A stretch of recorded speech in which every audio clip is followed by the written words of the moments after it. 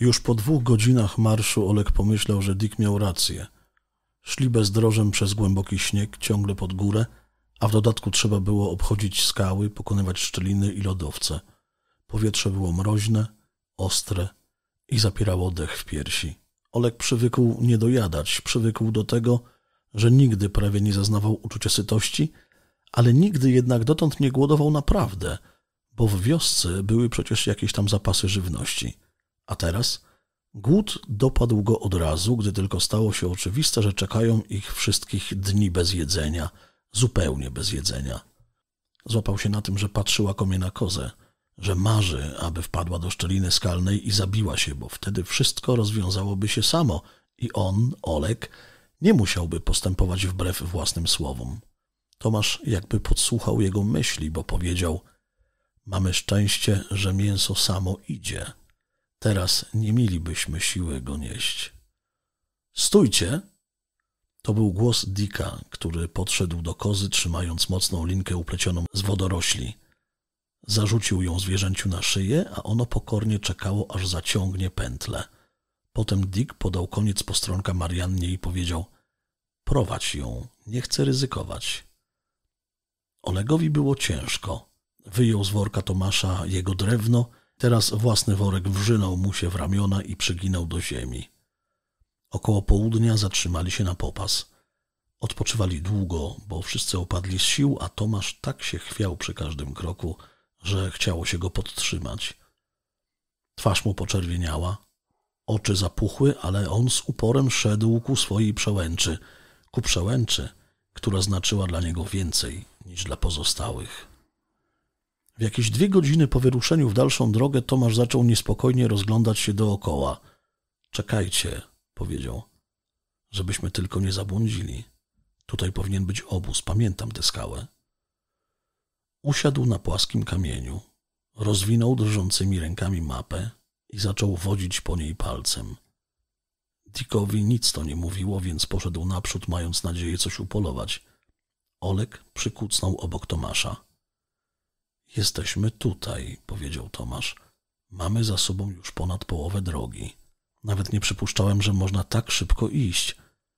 Mamy dobrą pogodę, zauważył Olek. Wszystko wskazuje na to, że tu nocowaliśmy, ciągnął Tomasz. Powinny być ślady, a niczego nie widzę. Minęło tyle lat, powiedział Olek. No tak, mamrotał pod nosem Tomasz. Grupa skał, trzy skały, nie, cztery. Aha, o mało nie zapomniałem. Odwrócił się w stronę Olega. Weź to, koniecznie. Bez tego nie waż się chodzić po statku. Pamiętasz? To jest licznik promieniotwórczości, prawda? Tak, przecież wiesz, dlaczego nie mogliśmy zostać. Promieniotwórczość. Z mrozem byśmy sobie poradzili. Może trochę się prześpisz? zapytał Olek.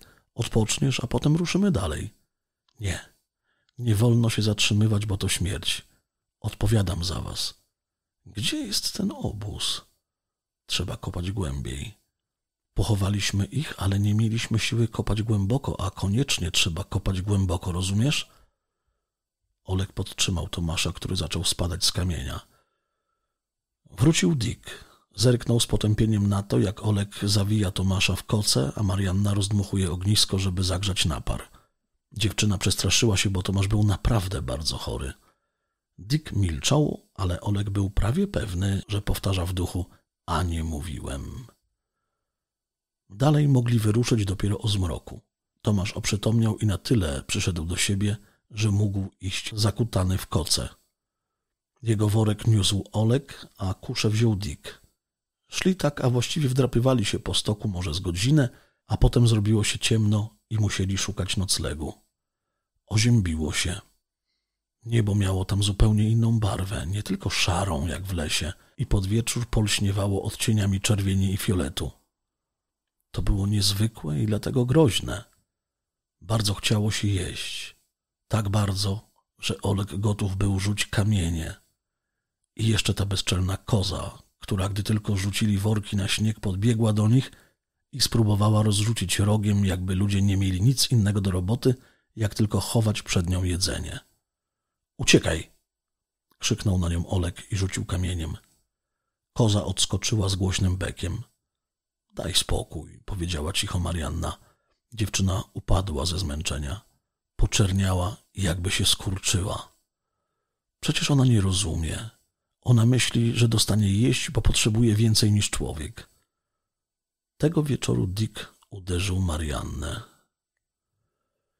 Przeżuwali ostatnie kawałki mięsa, cieniutkie, nędzne skraweczki i popijali je wrzątkiem. To było oszukaństwo, a nie jedzenie, bo człowiek musi zjeść przynajmniej garść wędzonego mięsa, żeby poczuć się sytym. A Marianna ukradkiem oddała swój kawałeczek wędzonki tej nieszczęsnej kozie. Myślała, że nikt tego nie zauważy, ale zauważyli wszyscy poza Tomaszem, który był półprzytomny. Olek nie zareagował, ale postanowił powiedzieć później Mariannie, że to nie ma sensu. Doskonale rozumiał Mariannę. Rozumiał jednak i to, że nie ma sensu karmić głupiej kozy, kiedy sami ludzie niedługo umrą z głodu. Dick nie zamierzał przejść nad tym do porządku dziennego. Wyciągnął nad ognisko rękę z długimi, silnymi palcami i uderzył Mariannę w twarz. Dziewczyna krzyknęła. Oleg rzucił się na Dicka, który bez trudu go odtrącił. Idioci, powiedział wściekłym głosem. Banda idiotów. Postanowiliście zagłodzić się na śmierć? W ten sposób nigdy nie dojdziemy do przełęczy. To mój kawałek mięsa, powiedziała Marianna. Oczy miała suche i złe. Nie chce mi się jeść. Chce ci się, warknął Dick. Jeszcze jak ci się chce. A na jutro zostały tylko po dwa kawałki mięsa, po dwa malutkie kawalątka. A droga idzie wciąż pod górę. Po co ja z wami poszedłem? Nagle wyszarpnął z zapasa nóż i nie odwracając się, rzucił nim w kozę. Nóż wyrwał kłak zielonkawej sierści i uderzył z brzękiem w skałę. Dick poderwał się na równe nogi, a koza odskoczyła jak oparzona. Dick podniósł nóż. Jego czubek był ułamany. Idioci, wrzasnął chłopak. Dlaczego nikt tu niczego nie rozumie? Dlaczego nikt nie rozumie, że już nigdy nie wrócimy do domu? Nie patrzył na płaczącą teraz Mariannę, na Olega, który zaczął podtykać dziewczynie swój ostatni kawałek mięsa, jakby była malutkim dzieckiem, na pokasującego słabo Tomasza, tylko szybko rozwinął swój koc i położył się na nim jak długi. Zasnął, albo udał, że zasypia. Olek tej nocy prawie nie spał, albo wydawało mu się, że nie śpi. Ktoś ogromny przeszedł niedaleko, zasłaniając błękitne światło poranka, Potem zaraz bardzo się oziębiło. Koza wstała i zaczęła szukać jakiegoś pożywienia, a potem Olega ugryzła pchła. Nie wiadomo skąd się wzięła. Może ukrywała się dotychczas w odzieży albo w koziej sierści. Ukąszenia śnieżnej pchły nie da się z niczym pomylić. I nikt nie myli, bo na razie nie wiadomo jeszcze, jak się przed pchłami uchronić i jak leczyć skutki ich ukąszenia. To jest nieodwołalne jak śmierć. Można płakać, krzyczeć, wołać ratunku, ale i tak nikt nie pomoże. Wszystko odbywa się jak w zegarku. Najpierw ukłucie, zimne i lodowate, jak gdyby ktoś wbijał pod skórę cieniutki sopelek, który tak pali, że człowiek natychmiast się budzi i zamiera w bezsilnym przerażeniu. A potem nic. Przez całą godzinę nic się nie dzieje. A jeszcze potem człowiek traci rozum. Zawsze i jednakowo bez względu na to, czy przytrafia się to mądremu czy głupiemu, dziecku czy starcowi. Przez pół godziny, godzinę człowiek znajduje się we władzy koszmarów. Stary mówił, że gdyby miał mikroskop, łatwo by się z tą chorobą rozprawił.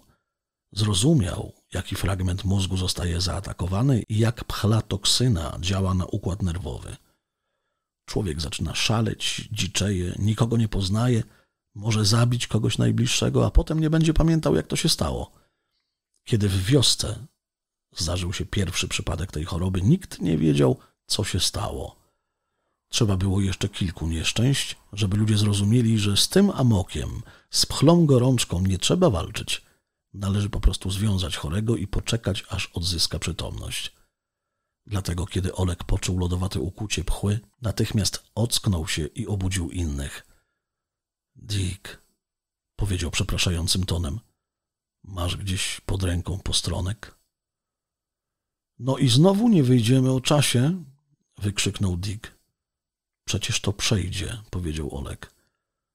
Po ataku trzeba co najmniej dwie godziny leżeć. Wiem to po sobie, powiedział Dick. Nie złościł się na Olega, tylko na los, na pecha prześladującego wyprawę. Uczucie zimna w biodrze, tam, gdzie ukąsiła pchła, nie mijało. Olek wciąż czuł ukłucie i wyobrażał sobie, jak zatruta mikroskopijną kropelką jadu krew płynie do mózgu, aby nań napaść. Dick bez pośpiechu sprawdził postronek, a Marianna rozpalała ognisko. No cóż, powiedział Dick. Podstawiaj się. Tylko żebyś sobie czegoś nie złamał, powiedziała Marianna. Biedny Olek. Nie pierwszy raz kogoś krępuje, powiedział Dick. To paskudna rzecz ta pchła. Rozluźnij się, Olek, i myśl o czymś innym. Tak będzie ci łatwiej. Najpierw związał Olegowi ręce na plecach, potem omotał mu pierś i nogi. Postronek wrzynał się w ciało, ale Olek nie oponował, bo wiedział, że w ataku gorączki człowiek tak samo jak szaleniec robi się silny jak niedźwiedź. No tak, powiedział Dick. Chyba nieźle cię związałem. Nie pije? Pije. Olek spróbował się uśmiechnąć, ale policzki miał już zupełnie zdrewniałe. Słuchaj. Dick rozejrzał się dookoła. Gdzie jest koza? Koza? W nocy ją słyszałem. Pytam się, gdzie jest koza? Dick zrobił się piskliwy ze złości. Przywiązałaś ją? Przywiązałam ją, odparła Marianna, ale ona pewnie się odwiązała. Pytam się, gdzie jest koza. Widocznie kipiąca w Diku złość musiała znaleźć ujście, no i akurat nawinęła się koza jako symbol wszelkich niepowodzeń. Dick, nie złość się, powiedziała Marianna, która starała się okryć Olega kocami. Koza na pewno szuka czegoś do jedzenia, bo przecież żywe stworzenie musi jeść. Tu nie ma czego szukać. Dlaczego jej nie przywiązałaś? Dick wyjął spod namiotu swoją kuszę i wsunął nóż za pas. Dokąd się wybierasz? Zapytała Marianna, chociaż doskonale wiedziała dokąd. Dick rozglądał się uważnie dookoła, starając się wypatrzyć na śniegu ślady zwierzęcia. Tak myślałem, powiedział. Poszła z powrotem w dół. Przez noc mogła przejść ze dwadzieścia kilometrów. Dick, zostań tu, powiedział nagle Tomasz głośno i wyraźnie. Marianna sama znajdzie kozę, a ty ją przecież zabijesz. Możesz być tego pewien, odpowiedział Dick. Możesz być tego pewien, że mam dość waszej głupoty. Pójdę, znajdę ją. Marianna zapomniała o wrzątku. Ty nie powinieneś teraz odchodzić. Tomasz jest chory, a Olega trzeba pilnować. Nic mu się nie stanie. Dick przegarnął palcami bujną grzywę włosów. Dasz sobie radę, Marianna. I nie odwracając się, szybko i lekko ruszył śladami kozy w dół, tam, skąd wczoraj przybyli.